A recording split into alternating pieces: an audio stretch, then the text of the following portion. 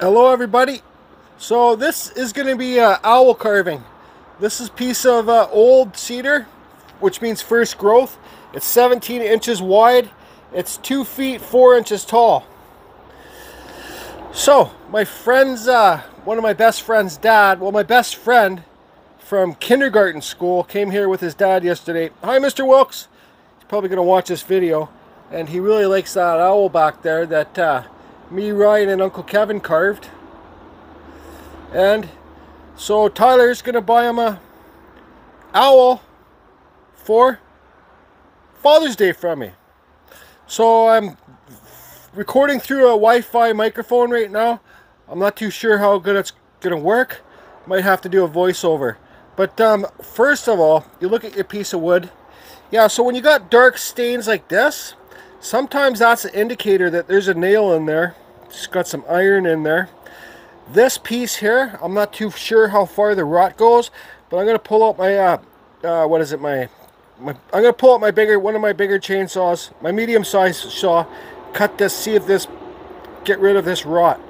Because I can't get rid of it, I got to slice it all the way down and get rid of this whole piece. Okay? Okay. I don't want to sharpen my bigger saw right now, so I'm going to slice at it with this 201. This is a professional saw, arborist saw. Usually it's a top handle, but you can order the rear handle. It has, uh, I think it is a 14 inch cannon bar on here, quarter tip. So let's see if I, holy, listen to that truck. slice this off.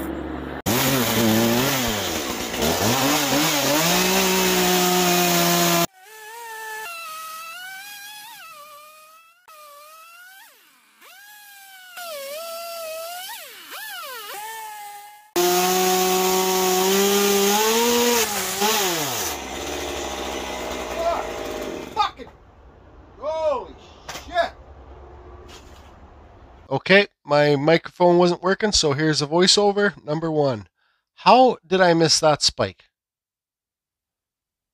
That's it's just me being lazy, not going over the log before I I uh, started carving it.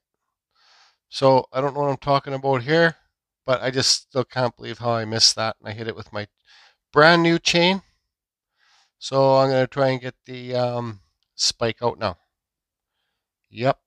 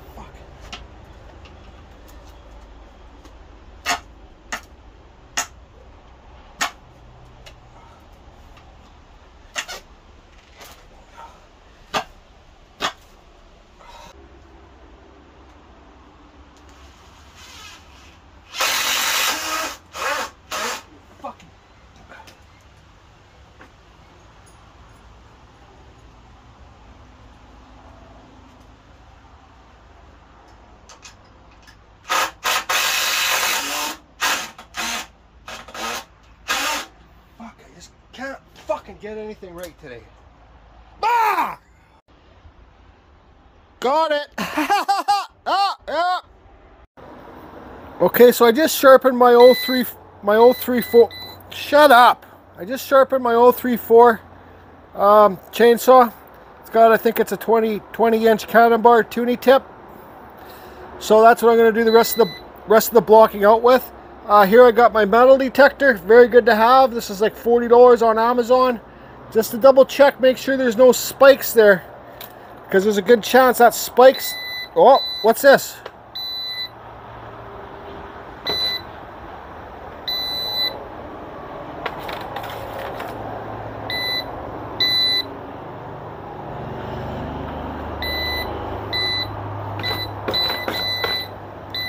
Maybe that's I think that's hitting the bottom there.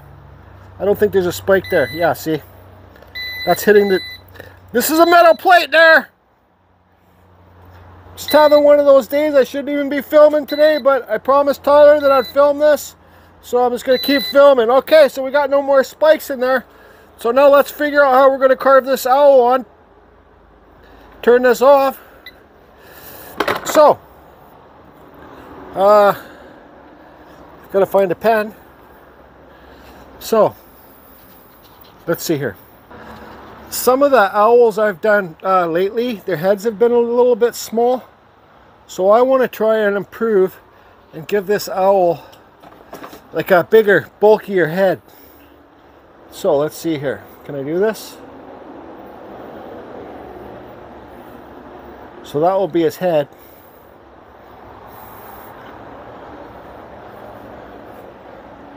I know it's already cut there. Weird, but that's okay. I'll figure all that out. So, you kind of see that? So his head will be here. And then his wings right here. I don't know. I don't know. I'm just going to start cutting.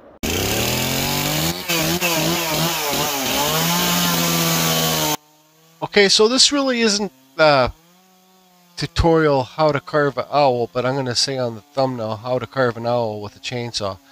Basically, you know, when you're when you're carving the owl with the chainsaw, you just want to block it out so you got the shape of an owl. You know, owls are total total fantasy. Your owl can look like you. You know, if you go to the dollar store and you look at those little tin things they make for people's yards, owls are can they can look silly, they can look cool, they can look mad, they can look like whatever you want them to look like. So, it, as long as you get the basic shape of an owl before you start doing detail, then you're off to a good start because once you start doing detail, you don't want to have to try and work on the shape of the owl. So, what am I saying here? Get a good shape for your owl first, like an owl shape, then start doing the details. Smooth it all out, make sure you're happy with it. Because once you start doing the details and, you, and you're not happy with the shape, well, then you're going to waste your time doing details, and then you're going to have to go back to, to recutting the shape. If that makes any sense to you. So, I don't know what I got going on here. But um, so there you can see that's going to be kind of like his chest to the left there. Um, I was too frustrated at this point to hook up the microphone, and I don't know if it's on or off. And um, it was just it was just one of those days. We all get them, and um, yeah. So there I am cutting. There I'm doing a plunge cut. So this owl is going to be looking over its wing, like Ryan Cook says on his videos, it's good to make the owl looking over one of the wing because if you make an owl straight on and the wings are at the side, then you don't see the details that you put into the wings, right? So if you make your owl look over one of the wings, the left wing or the right wing, then you can spend some time putting detail on the wings and people can um, enjoy it more. And I wouldn't worry about trying to get the wings for the beginners the same on both sides because, well, all you can look at the owl, you can only look at one side at a time, right? unless you look at the center where the two wings are. I try and make them the same height. But um, just work on getting the shape first, and it, and it will take you, uh, it will, it will be a lot better for you. So here, here I'm doing, I'm just blocking it out. You know, I got my uh, chainsaw pants on, my normal glasses. I use those as safety glasses. I need to get some new ones because these are all scratched up to hell. I need to get a new phone because I film on my phone and my normal microphone's screwed up. So, and safety pants. I got chainsaw pants on. I got steel toe boots on. I don't wear gloves because I get better control, a better grip with the chainsaw when uh, I'm using my own hands. And ear protection, earplugs. Because, you know, chainsaws are loud and sooner or later it's going to affect your hearing. So Safety pants, chops, safety pants or chops, chainsaw carving stuff. Steel toe shoes, in case you, your saw slips. Don't want to hit your toes. Um, safety glasses, earplugs, and gloves if you, if you want. So there you see, I'm kind of just rounding it off. This will be the wing. And you'll see his face will look over overlook that wing. Just kind of visualizing it, having a look at it taking my time. I'm trying to do a good job here on this owl. Not it's just, it's a special one, so I got it on that uh, lift stand that I got from Canadian Tire here in Canada. I think it was it holds up to like 500 pounds, 600 pounds, and uh, it's great back saver. It's a hydraulic lift. So there I'm drawing on the um, the wing for the backside or the chest. Doesn't matter if you have small wings, big wings. You can have a big chest, small chest. Just uh, and when I'm editing this video, I realized that I got to stop eating uh, ice cream because I'm a little bit fat right now. But it's okay. we'll call it the winter fat. So now summer's here, so now it's time to burn it off. I got some big projects I got to do. I also want to work on that um, that uh, lo half cedar log that I got that's six foot tall, and it's going to be a waterfall. That's a project I want to do for myself. And um, I'm not too sure if I'm going to cement where the water's going to come down or if I can just leave it wood. I've been looking into that uh, rubber spray stuff. You know the stuff they use for gutters? You can get that stuff clear too. What's it called? Rubber Flex or something? Those those commercials on TV. But I got a can ordered, so I'll be able to test it out. Excuse me. I did do a smaller carving of a little waterfall with a wood spirit. But that uh, carving's going to have like crazy wood spirits all over it, maybe even a couple little ghost skulls. I don't know. I'm just gonna it's gonna be a piece for myself, but it's gonna be a big job. The biggest part of that job is to get the water to flow. So when the up higher is going to have to be pushed back so it comes down on a slope. I just don't want it straight up and down where the water comes because then the water hits a bump, it could fly off, right? You don't want the you don't want to have to fill up your waterfall thing, your water fountain, like five times a day, right? Just like the little water fountain I have out front of my house, I made it so if the water splashes, it stays inside the, where the water's coming down. So that's the biggest. I think that will be the biggest, um, the hardest part for me to do is with that waterfall is to get the water to. So it's going to be on like a degrees. So up higher is going to be cut back more, and it's going to be like a slow hill. And um, I'm just processing how I'm going to make the bucket at the bottom because you got to have water sit in the bucket. So that's why I'm trying that rubber stuff. Maybe I can seal the wood with that. So there you can see the shape of the owls kind of coming along. I haven't carved too many owls, maybe 10, 20. But they're fairly simple to do for the new carvers. And once you get the hang of it, it's just you're it's just like kind of like the bear cuts. I'm not saying bears are simple to do. I'm not saying owls are simple to do, but it's once you get the main cuts down, then you can make it whatever you want to make it kind of owl. Uh, I'm just trying to kill time here too. Can you tell? but um, you can see the shape of owl there kind of cleaning up the head a bit, making the, the two sides of the face square. I love that 034 saw. That's probably my, besides my 2511 Echo saw, that's probably my, well, my 500i fuel injected is my favorite saw. But this uh, 034, that's an older steel saw. I love it. Yeah, it's got some power. Sorry everybody, this isn't the best tutorial video, but how can I really do a tutorial video when I don't even know what I'm doing? You know, so. Whew, okay, I think we're almost at the end of this number two voiceover. But you can see the shape of the owl going. Just using the tip of the bar there just to get some stuff, wood out of there, I guess you could say. Owl chainsaw carving. Okay, you can see there how I got most of my blocking done out. Everything's kind of rounded. I did the wedge cuts for the, because you, you don't want to have a flat faced owl unless you want to do like a barn owl. But when you do a wedge cut like this, try and get these the same pitch and the same length. These ones aren't perfect, but I'll make them work. When you draw your beak on, then we'll get to that after. But here's the wing. This guy's going to have a big chest. Um, I'm not the best at carving in the legs. So maybe what I'll do to carve in legs, well, I'll just figure it out and get that done. I don't want to say how I'll do it, but I'll just make a cut here and a cut there and then put a leg in there. I might, I might have already made a mistake. They made come out like there, but you don't have to have legs. You can just carve some talons in down here and that's good enough. So, now I guess I'll start, uh, pull out the little MS, uh, uh, it's been a while since I've done this chainsaw carving filming, so I forget what I say. The little, um, Echo 2511 or is it 2411? Echo CS 2511. Start carving out these wings and shaping it a bit better. Yep. Okay, so I got the little 2511 out because I was happy with the shake. So there you can see the shape of the owl. There you can see I'm cutting his wing in. I did cut it in shallow at the bottom because I got to remember I got to try and cut those legs in. It's going to be like a sitting owl with his legs kind of bent at the knees, not standing. So just take your time. Try and get the shape correct, right? This is still blocking out. We're not we're not we're not talking about details yet. But I even had problems after um,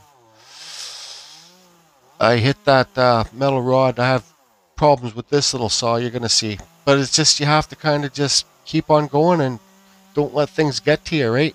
And uh, you know, you might get distracted, you might get bothered, and might not like something that happened or something that's happening with your carving. But just who cares? Just forget about it. Fix what you need to fix and move on. And sooner or later, you'll forget that you had that problem. That's why I carve. Carving solves problems. That's art solves problems for me. When I'm when I'm carving, I don't think about any other bullshit. I just carve. I'm concentrating on the carving. And I love it. So there you can see the wing. I could have pushed that wing back a little bit, make the chest stick out a little bit more. But I, my main intention for this carving was to give the owl like a nice big kind of solid head. Because my, like I said earlier, some of my earlier owls that I did, the look how fat I am there. Some of the owls I did are uh, the heads are too skinny, but it's okay. They still look like owls. People still bought them. But yeah, I got to stop drinking. Uh, I think I'll start putting milk in my coffee instead of cream now. And um, I guess I'll have to go back to start buying skim milk again too. I've been drinking 2%. I don't know. I seen this girl a couple times and her family owns a dairy farm and she told me that actually 2% milk is better than skim milk. And I'm like, but isn't it fattening? More fattening? And she's like, well, not really. It's better for you than the skim milk. I don't know. I've always drank skim milk so much because I drink so much milk. I think if I drank 2% milk, I'm going to get too fat. Well, there's the answer right there. Look at my belly. I haven't been eating that many donuts. But I've been eating, eating lots of ice cream. I just got my wisdom, uh, not wisdom tooth, but one of my back molar, molars tooth taken out. And that happens to be, there's the grocery store right, right beside the dentist. So I went and bought two boxes of popsicles, like one box of fudgesicles and the other box of creamsicles. So that's not. I said, screw that. That was the worst thing dealing with that pain. The man, I've I've had tooth pull pulled before and root canals done, but that back top molar was friggin' brutal. Watch this. Boom! Look at that.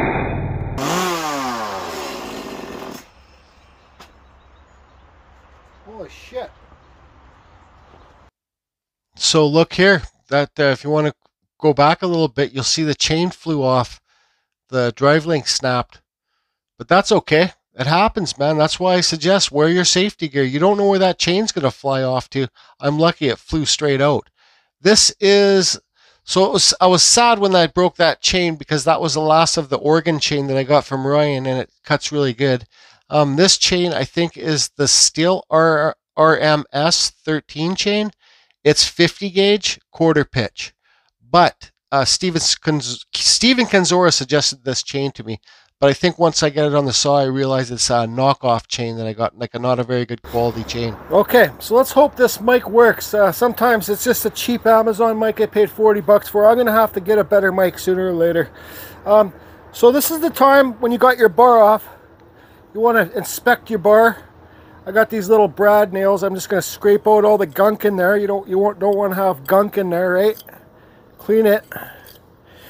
You, uh, you feel the edge, and if your fingernail can catch on the edge of the bar, just get a file, Some people say, no, don't file this way, file it that way, don't file it this way. Well, I file whatever way I want to file. So, I just get rid of that edge. Some people like, if you foil it this way, your burr's going to overlap and then yada yada. I don't care. I just get shit done.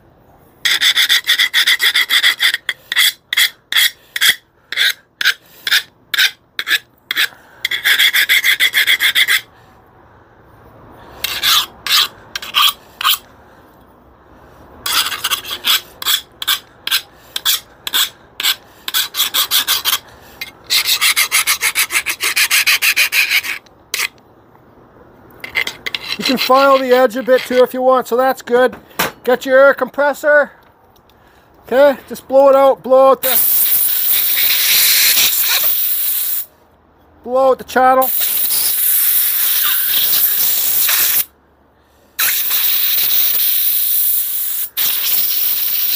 Blow out your oiler holes. Okay, now you might as well clean your saw at the same time.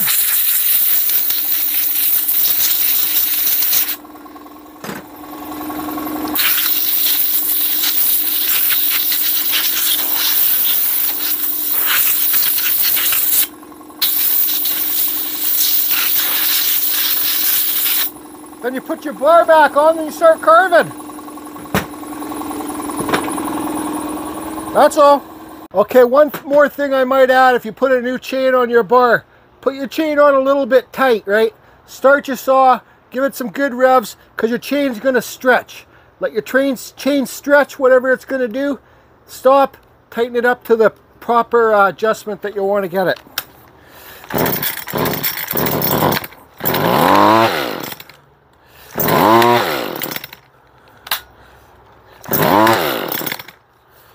Whatever.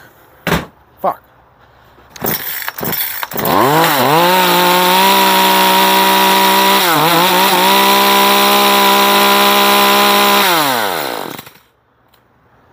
Perfect. Okay, hope the mic's working. So look at this nice big black stain from that spike. You can still see a hole there. I think it's neat. It just gives it a uh, pretty cool effect once you put the finish on it. So I've been having problems today. You know, I forget. First of all, I hit a spike.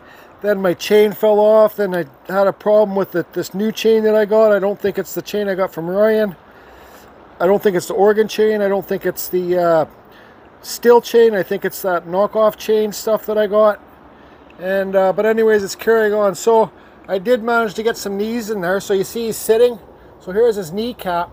And then you just push his legs back there. So See that? See how he's, and then you'll put a little slice there to make it look like his feet, feet are there. Yeah, I know they look like chicken feet right now, but I'll carve talons in here later.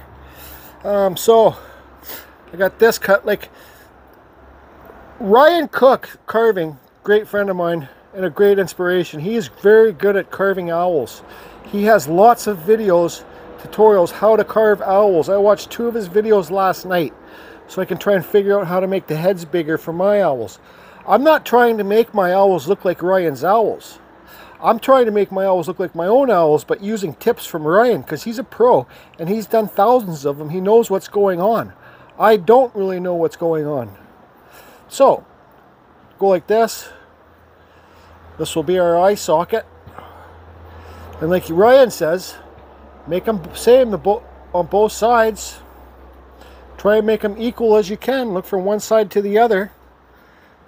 And uh, mine are totally unequal. That's okay. Because I just, I just fuck shit up. Pardon my language. So now what I'm going to do is I'm going to cut here. Then remove the wood. I'm going to cut true to the line here. Actually, I'm going to cut it in a bevel. Pretend my hand's my chainsaw. Bar, I'm going to cut like this. Then I'm going to remove the wood to make this pop out. Then also, here, up here. Let's give them some little wings.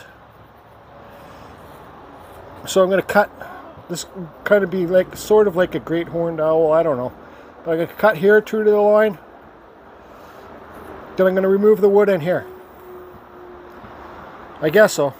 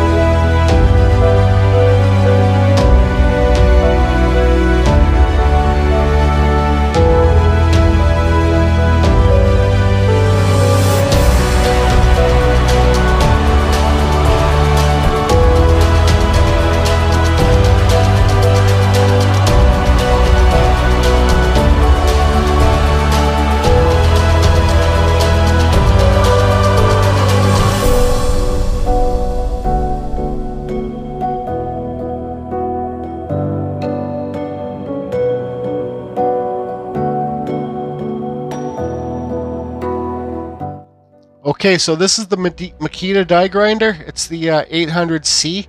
I consider myself a very lucky man. I am going to be making another video probably next week on just die grinders themselves. And um, you guys will see why I'm lucky. But uh, there's a speed control.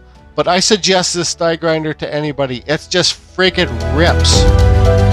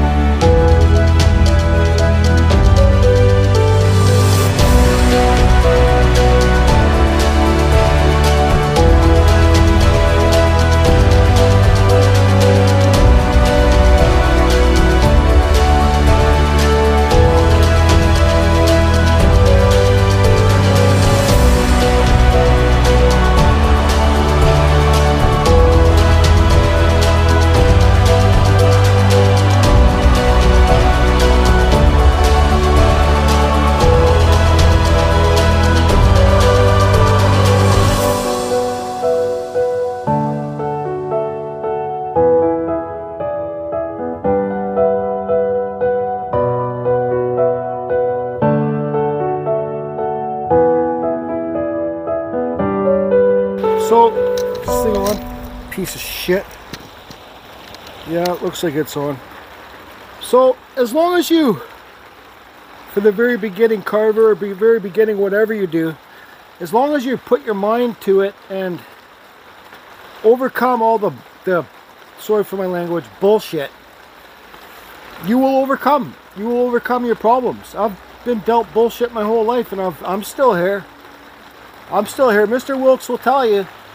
Hi, Mrs. Wilkes, if you're watching this too. His name's Wayne Wilkes, but I'm just old school. I call him Mr. and Mrs. Wilkes. But he'll tell you that I was troubled little, I'm not going to get into it, but he'll tell you I was a troubled little kid, but I've always had a heart of gold. Anyways, let's, uh, makes me real happy to make this for you, Mr. Wilkes. You and uh, Mrs. Wilkes are always a special uh, parents, like second parents I had growing up. Um, Joey's mom, Joey Kavanaugh's mom was too, Mrs. Kavanaugh, Mr. Kavanaugh, and the Burnsides, Greg Burnside, Gordy Burnside, all there, Mrs. Burnside and Mr. Burnside are always, you guys have always been the three special families to me. But anyways, so just overcome. I know that this is still damp. It's not it's not bad, but I'm done for today. It's raining. I don't know how this rain's going to pick up on this piece of shit mic. But I can see here I got some I got to fix up the eyes a bit, make them look more equal. And whatever, it is what it is. I did this, the, the base nicer for Mr. Wilkes. And, you know, when you're, when you're also another thing too, like carving's not just about making money for me. I'll say that much, very much right now. I don't really care. But when you're making for something for somebody special, try a little bit harder. You know, put, put a little bit more effort into it. So I guess I should stop babbling now because I probably don't make sense. But let's give you a full 360 of this owl. So you can see like this one's more, this side is more, this side's more round. I don't know. I'll fix it another day. There's his beak. Okay. There's that line from that nail, the spike, the black. I think it's the iron or whatever is inside of it makes a wood turn color. Here's his talons. I'll carve his talons in when the cedar dries a bit in a couple days. Um, there's the hole, so there's his legs. And here's the back. And here's the texture. I like this texture up here. Ryan Cook taught me that. I'm not the, like I say, I'll say in the voiceover, I'm not very good at textures. I'm still learning. But I'll learn on my, on my own. And I'll finally find something that works for me. This looks pretty good to me. Once you burn it and sand it, you're going to get nice textures there. But you'll see like a cut line here. I still got to get my die grinder and get rid of that cut line and stuff and all the swirls on the base. So there's the back of it. So look, it's a big head owl. it's a big headed owl. He doesn't really have a tail. He has a little bit of a tail. Don't care. Just don't care. All right. So let's leave it there. And uh, hope you like your hooter so far, Mr. Wilkes. We'll do another video if everybody says I should do another video on doing the details, burning it, and putting the thing on it. Then the color is really going to pop. See y'all later. Carving Fusion, over and out. Hope this mic works.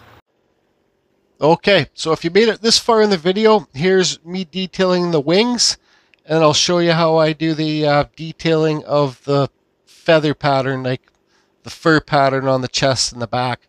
It's just kind of like it's, it's I'm not a pro at it. I'm still kind of trying to learn my own technique, but it's kind of I think the way Ryan Cook taught me how to do the textures, just quick like little X's for the feathers, not the wings. But anyways, it's real time carving. If you want to watch it, watch it. If you don't, you don't. Hope you're all doing good, and the more you do, the better you're going to get.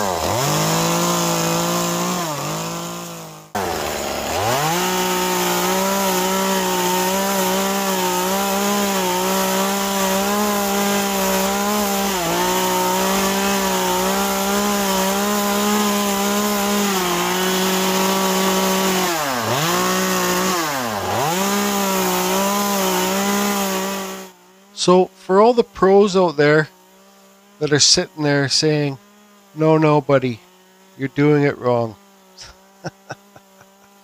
How can I be doing it wrong when I'm doing it the way I want to do it? How can that be wrong? Can you answer that question for me? Later.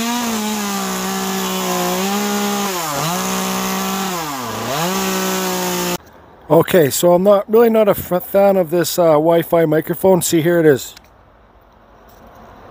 it's just a pain in the ass to turn it on and off when I want to listen to music and stuff. So I'm going to have to figure something out.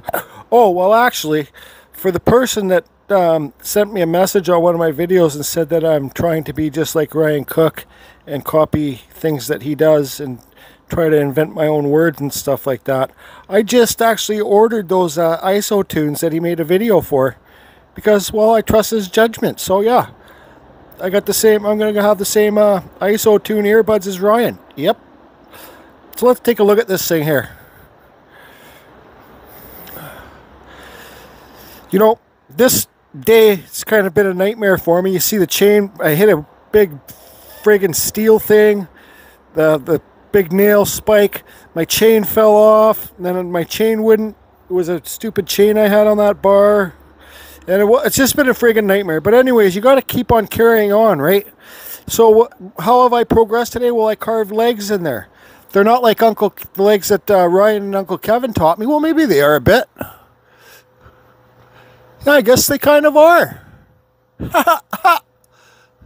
if you guys, I have a video, uh, Uncle Kevin and Ryan showing me how to carve this owl. Uh, way a couple years ago. And um, here's, I don't know if you can see the back of it. But I think it's going all right. So what did I learn today? I learned how to cut legs in. I could cut right through there. I'm not gonna. Um, I will clean all up that up so they're more equal with a die grinder. I still got to carve his talons in and um, do some cleaning up with the die grinder on the head. And another thing I learned today, I carved a bigger owl head so they're not so like alien lakes like little freaky freaky owls. I'm like little freaky freaky freaks like little freaky freaky freaks like little freaky, freaky owls.